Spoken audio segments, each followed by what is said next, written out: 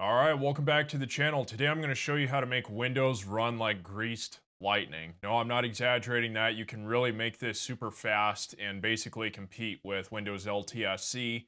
If you guys don't know what LTSC is, I recommend you check it out. It's actually pretty nifty. But we're just going to go ahead and jump right into it. So I'm going to start from the beginning, which is installing the operating system. If you already have Windows installed, don't worry about it. I'll drop timestamps down below. You don't need to go wipe Windows out. You can just do the tweaks I'm talking about in this video without going and wiping your computer. I'm just giving you more options as to how you can make it run really fast and everything in this video is free. I'm not gonna recommend you use any paid tools or anything like that. Okay, so to start out, and by the way, to give credit to the, the person that recommended this, I think it was ThioJoe was the one that found out about this originally. I could be wrong. I just wanna give some credit where credit's due. When you are installing Windows, here in the time and currency format, if you click the drop down and select English World, it will stop a lot of that bloat garbage that you see in the start menu when you boot up Windows. It's really bad on Windows Pro and Windows Home Edition. And so by selecting this, we'll go ahead and get rid of that. Now, I'm gonna go ahead and install Windows and just skip ahead, so we don't need to go through the whole install process here. Okay, so now we are at what's called the out-of-box experience. So every time you install Windows, you come up with this garbage here. Now, because we selected that region, that the world region, you're gonna get this error here, that's fine. Don't worry about it, just click the skip button. And then just go ahead and go through all the rest of your standard stuff here. We're gonna go ahead and skip all that. Now, I'm installing Windows 11 Home because I want to showcase just how much you can debloat and get rid of all the garbage out of Windows and make it run really fast. Now the thing with Windows Home is, is it's littered with a ton of Microsoft services, a ton of telemetry, a ton of crap. And something Microsoft start decided they thought would be a good idea was a while back was to force all Windows 11 Home users to use a Microsoft account to be able to log in and use their Windows install. So Worry not, my sweet summer child, I've got you covered here. What you're going to do to work around this garbage is click Shift F10. That's going to bring up the command prompt. Now, what you're going to do here is type OOBE, which means out of box experience. If I can get the command prompt to work here. Then you're going to do a backslash. Make sure it's a backslash, not a forward slash, otherwise this won't work. And then you're going to type in bypass NRO. Go ahead and hit enter. This is going to reboot the system. Something I do need to mention here real quick is you do have to make sure your internet is disconnected when you do this or otherwise it won't work properly. So when you run that command, make sure that your internet is disconnected when Windows boots back up. Now when you're booting in, you're gonna notice it's gonna go through this stuff again. It's fine. It's just starting the uh, OOBE garbage again. Don't worry about it. We're just gonna go ahead and skip through all this. Now that we ran that command through command prompt, you'll see down here, you now have the option to click I don't have internet. And of course, Microsoft with their garbage, they're trying to continue to force you to do this, but now you can click continue with limited setup, which will now let you create a local user account. Now that we have that done, we're gonna go through our first set of telemetry stuff here. Now, if you're going to use a Microsoft account, it's not necessarily a horrible thing to use this stuff because they're gonna keep track of everything you do on your computer anyway. This is why I recommend recommend if you're going to use Windows, unless there's really a need for it, you really shouldn't be using a Windows account be using Windows. But so let's go ahead and go through this here. Now these two parts here might actually be pretty important for you as a home user if you have a laptop because these can let you find, let's say you lose it, you turn this off, you're not going to be able to find your laptop. But if you're just a desktop user, you've got like something set up in a home lab, you can just go ahead and shut all this garbage off because it gets rid of some of the stuff that we don't even need. And I know some people are saying, oh, well, Microsoft still collects info anyway. Yes, they do, but I'm gonna show you how to work around that garbage here in just a moment. Okay, so now I'm gonna show you as a result of you selecting that world region, you can see there's no longer all of that crap showing up in your start menu here. Now, if you go to installed apps, like where you can go and add and remove apps that are on your computer, you'll notice there still is some crap on here. It's not too bad though. You, and you can remove quite a bit of this garbage out of here, like Microsoft Family. I doubt most people are going to want to use that, or Clipchamp, piece of garbage. So you can come in and purge a lot of this stuff out if you want to. One thing I do want to show you is that if you try to use the Microsoft Store when you select that world region, when you're setting Windows up, when you try to open this up, you're going to get an error that says the store is not available in your country or region.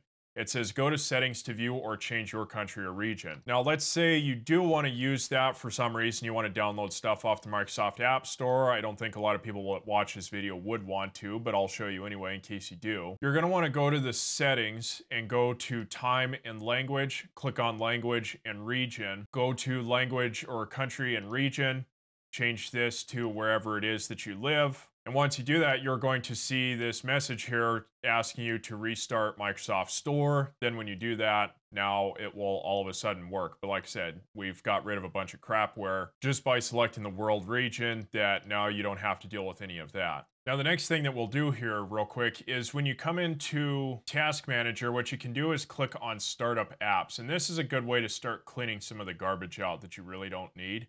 So for example, we don't need Microsoft Edge to be booting on startup.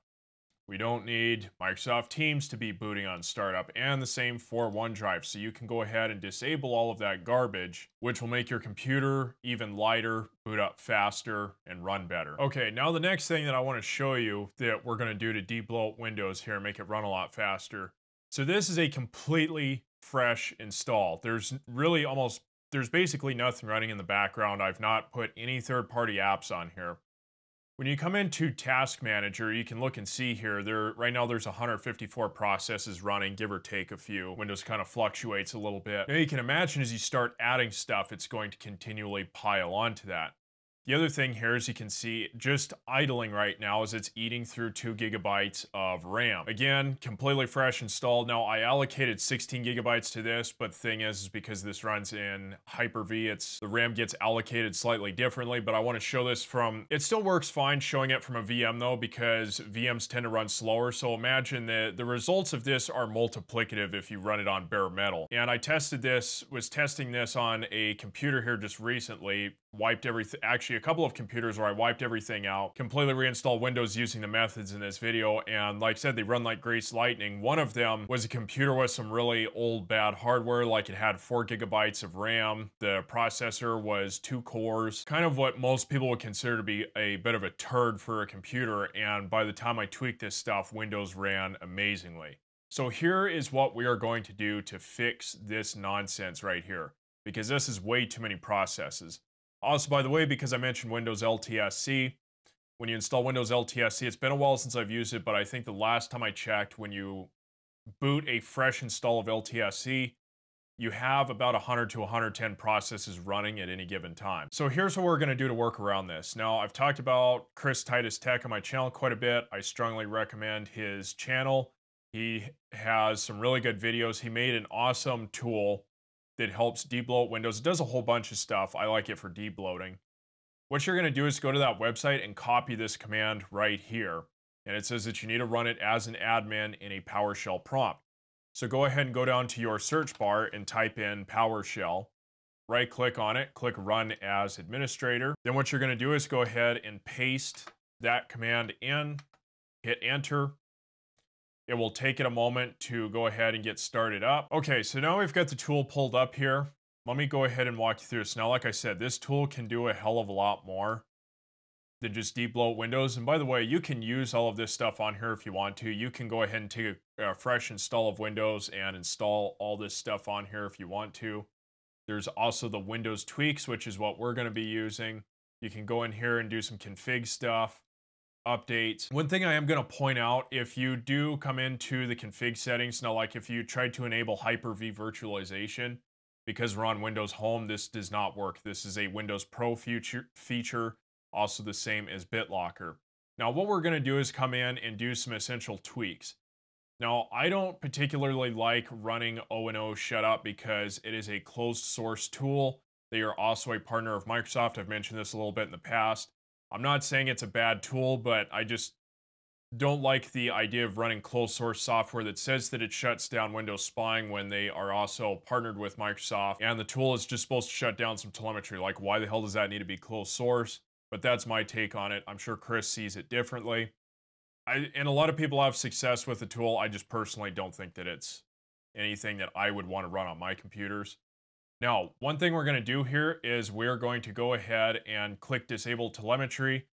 I've talked about this in this how to stop Windows spying and also why you shouldn't use Windows 11 Home. Now, I don't have an issue with Windows Home. If you do run these tweaks, it makes it a hell of a lot better.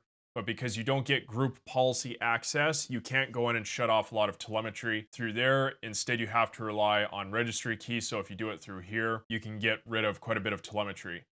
The other thing you can do is just go ahead and disable all this other stuff if you want to, delete temporary files if you want to, disable location, tracking, disable home group. One of the things that's really important here, so I talked about how there's that 156 processes running. There's a setting in here that says set services to manual. It says turns a bunch of system services to manual that don't need to be running all the time. This is pretty harmless as if the service is needed, it will simply start on demand. This is going to help out massively getting Windows to run better.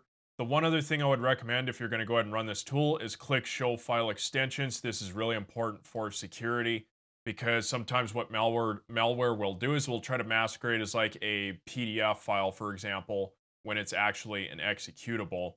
And if you have the extension shown, is it will show you what the true extension is. I don't know why Microsoft doesn't have this enabled by default but this is just something you can go ahead and do. The other thing I'm going to mention here real quick is you will see in here, and I see Chris has a warning in here, which is good. You can remove Windows Store apps. Basically, you can purge out a lot of stuff. Like you don't need OneDrive or any of that garbage. I'm not going to remove it because it's not necessary. I'm going to show you that you can still have a really fast Windows, and you could expect it to become even faster if you're going to remove this stuff. One thing that's really important to keep in mind here is it says use with caution. This will remove all Microsoft Store apps other than the essentials to make WinGet work. Games installed by Microsoft Store are included. One thing to keep in mind here, and this holds true even for Windows Enterprises, the Xbox app gets installed on Windows. So that's really important. So let's say you want to play Halo Infinite or one of the earlier Halo games that came out on Steam. Let's say you uninstall the Microsoft Xbox app you go and try to run those games, you can't even boot them up because they require the Xbox app to run. And it will also break other features as well, so you can remove these if you want to, but it's really not necessary either way, and the telemetry will get shut off really well.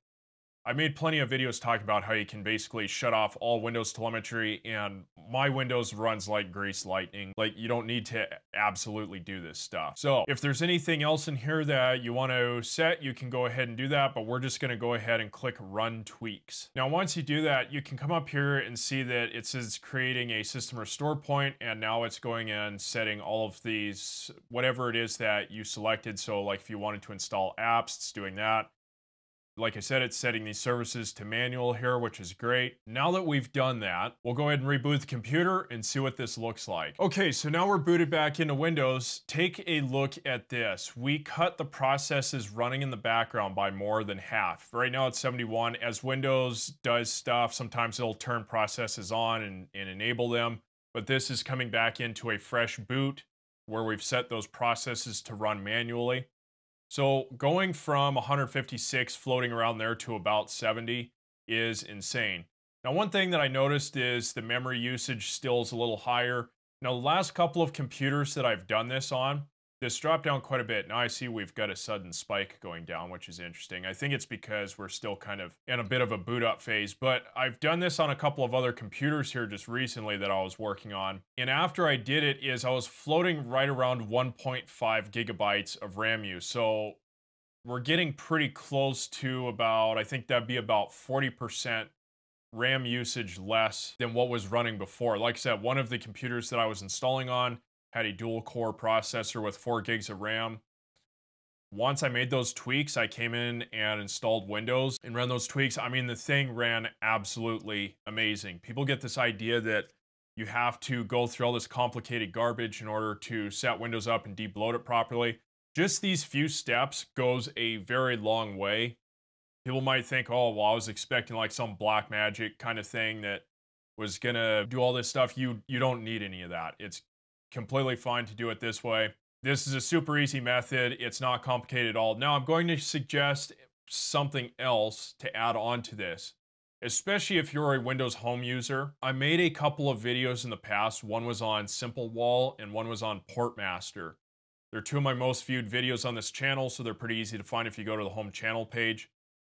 you could either run Portmaster or Simple Wall. Now, Simple Wall has a built-in IP block list, which you can see right here is these are Microsoft telemetry IP addresses that you can have blocked through this application. The other thing that you can do is use Portmaster. Now, Portmaster is pretty slick because it does a whole bunch of different stuff. One of the things that it does is it has different lists built into it so you can block ads, trackers, malware, questionable websites, anything like that. And one of the things that it will do is it will block Microsoft telemetry. So if you add either one of these on top of this here already is you are further cutting down on the garbage that's running in the background because telemetry is a big issue with Windows.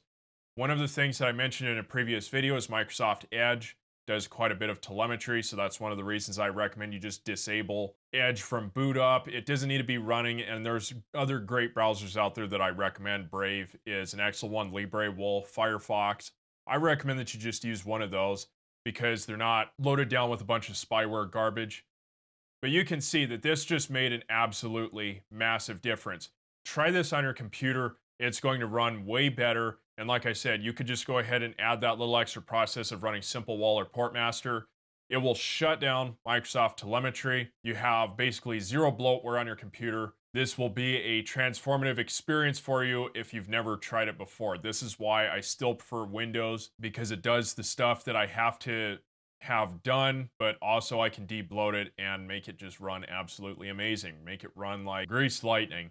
Anyway, that's going to wrap the video up. If you like it, drop a like, comment, I guess, that I think it helps out in the algorithm, but YouTube's been changing their algorithm a lot, so I don't know. Anyway, with all that being said, if there's anything like this that you'd like to see in the future, drop a comment and let me know. I'm all for helping people with these tweaks and making Windows a better operating system. Before I sign off, one thing that I'll say is you should make technology work for you. You should not be used by technology. The people that get used by technology are the ones that struggle with things they have a really hard time making it by in life technologies taking over. That's one of the things that I'm focusing on with this channel, making it so that people can navigate tech a lot easier. And with all that being said, I hope you have a good day and I will see you on Friday.